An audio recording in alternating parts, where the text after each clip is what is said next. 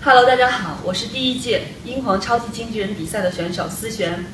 嗯，回想起去年的比赛，说实话，我到现在非常的紧张，因为对我来说，这个比赛非常的不容易，真的。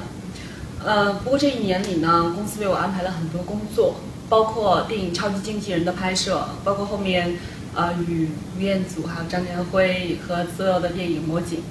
还有与王宝强还甄子丹合作的电影《一个人的武林》，而且公司又为我安排了很多的宣传工作，包括呃芭莎，还有上海国际电影节、北京国际电影节等等一些很大的活动。